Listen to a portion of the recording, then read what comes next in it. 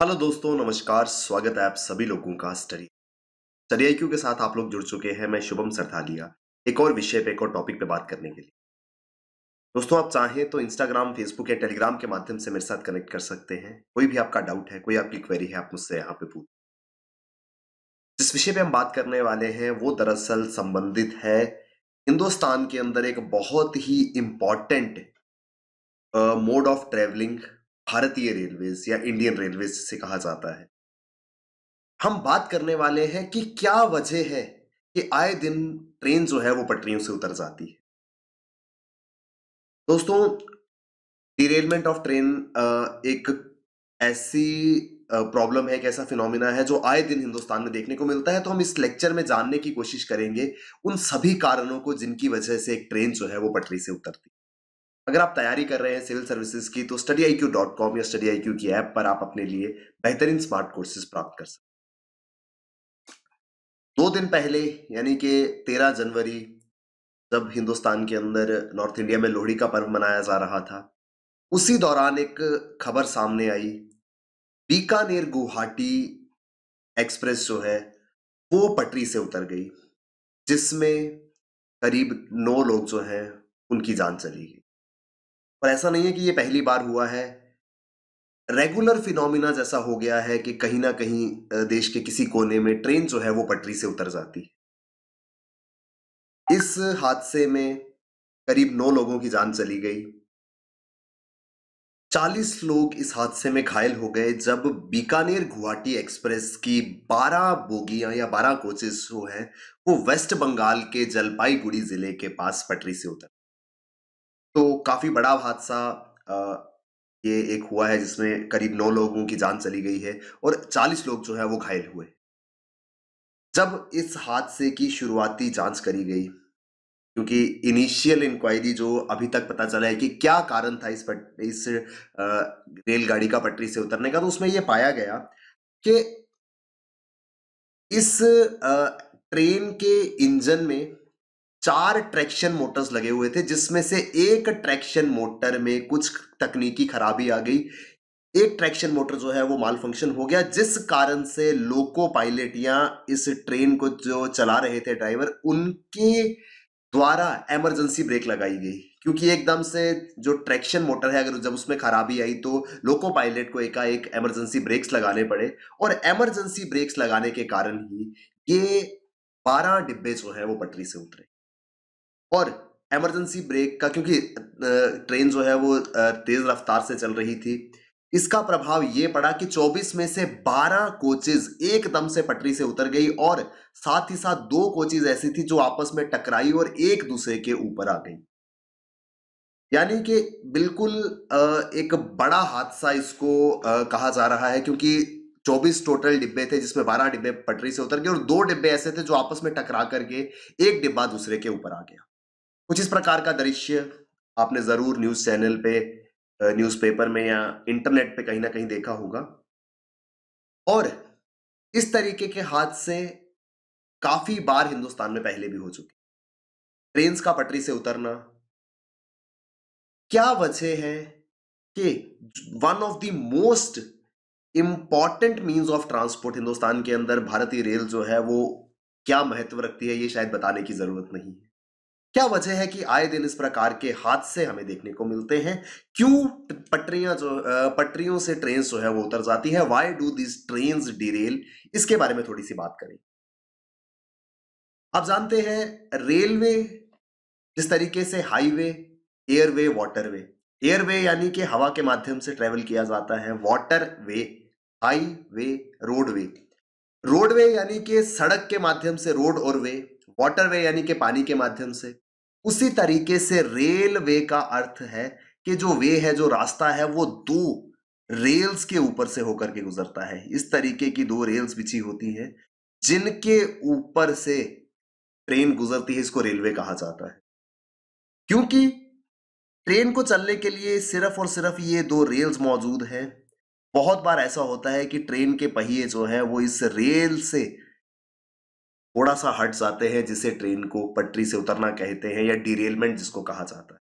जब भी इन रेल्स पे चलने वाला वाहन जी हाँ ट्रेन अपने इन रेल से बाहर आ जाती है, उनके व्हील्स जो हैं, वो इन रेल से बाहर हो जाते हैं, उसे डीरेलमेंट कहा जाता है।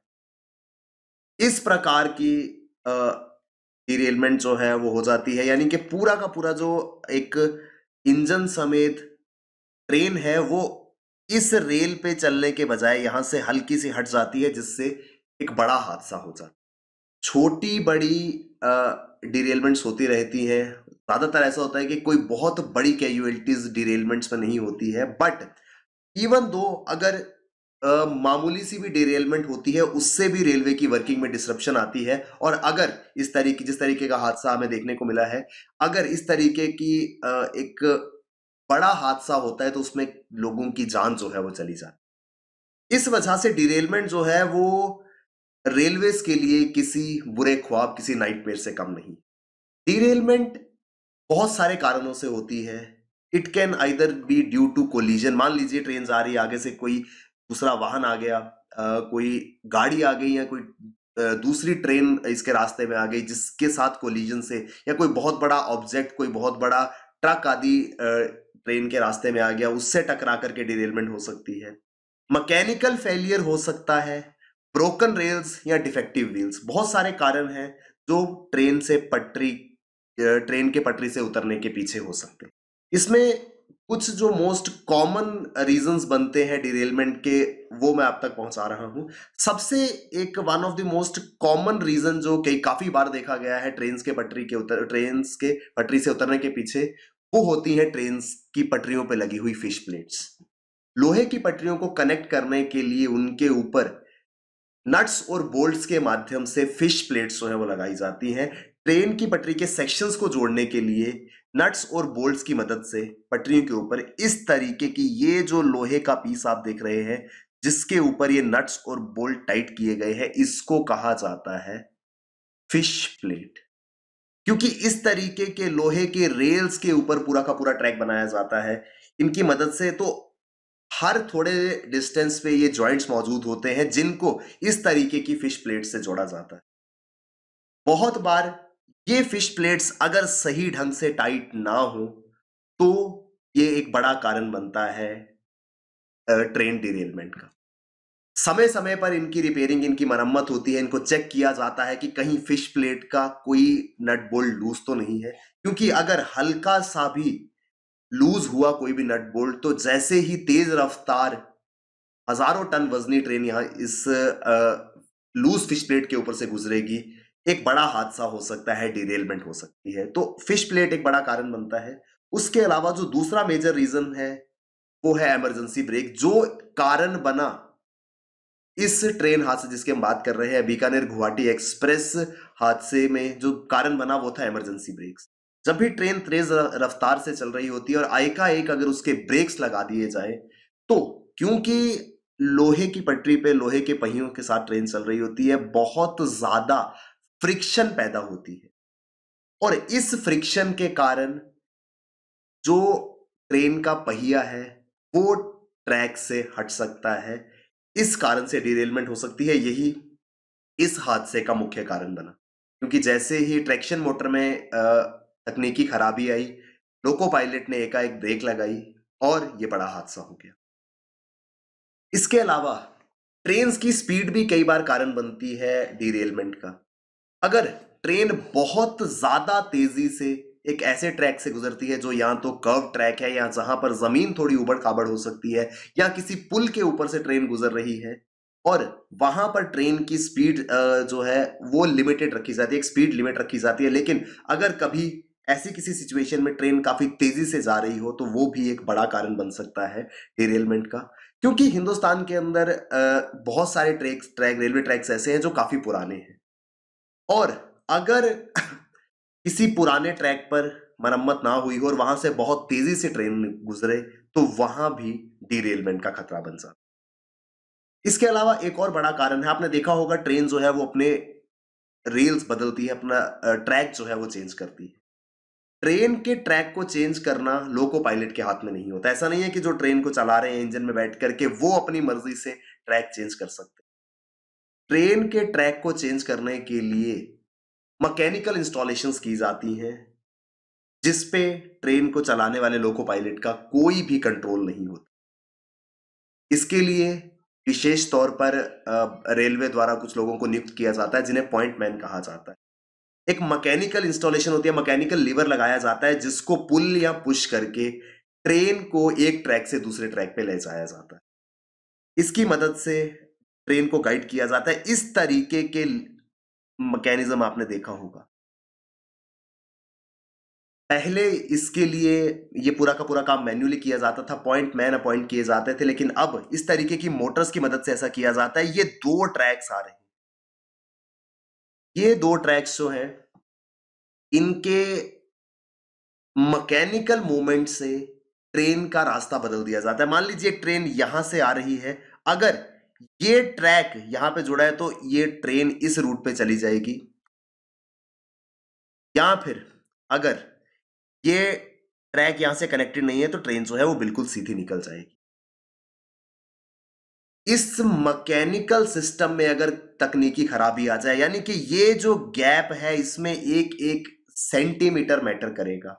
अगर किसी टेक्निकल फॉल्ट के कारण ये गैप अपने निर्धारित दूरी से एक सेंटीमीटर भी इधर या उधर होता है तो एक बड़े हादसे का कारण बन सकता तो ये जो मैकेनिकल इंस्टॉलेशंस हैं, जिनकी मदद से ट्रेन के ट्रैक को चेंज किया जाता है, अगर वो सही ढंग से काम ना करें तो वो भी डिरेलमेंट का एक बड़ा कारण बनता है क्योंकि जब तेज तेज गति में, तेज रफ्तार से ट्रेन का ट्रैक चेंज होगा तो किसी भी गलती की गुंजाइश वहाँ नहीं होती है। इस वजह से ये मैकेनिकल इंस्टॉलेशंस भी एक कारण है।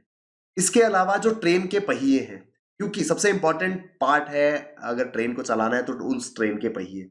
उनका रेगुलर बेसिस पर रिपेयर बहुत ज़रूरी है। उनकी मरम्मत समय समय पर की जानी चाहिए क्योंकि वो लोहे के पहिए हैं। अगर उनकी समय समय पर मरम्मत नहीं की जाएगी तो वो लोहे के पहिए जाम हो सकते हैं। और अगर कभी पूरी की पूरी ट्रेन में एक भी पेयर ऑफ़ व्हील्स जो है, पहियों, पहिए जो है, अगर वो जाम हो जाते हैं तो एक बहुत खतरनाक कॉन्सिक्वेंसेस का हो सकता है। A jammed wheel can be very dangerous क्योंकि प्रत्येक बोगी में चार पेयर्स ऑफ़ व्हील्स लगे होते हैं। अगर उनमें से किसी एक में भी जाम होने जैसी समस्या आ जाए तो पूरे के पूरे ट्रेन के मूवमेंट को मोमेंटम को बिगाड़ बिगाड़ सकते हैं और अल्टीमेटली उससे डिरेलमेंट जैसा हादसा हो सकता है। तो ये कुछ कॉमन कारण है जो पिछले कुछ समय में देखे गए हैं, जिनकी वजह से ट्रेन जो है वो पटरी से उतर जाती है। हम इसके बारे में बात कर रहे थे क्योंकि हाल ही में एक ट्रेन हादसा हुआ है जिसमें ट्रेन पटरी से उतरी और नौ लोगों की उसमें जान चली।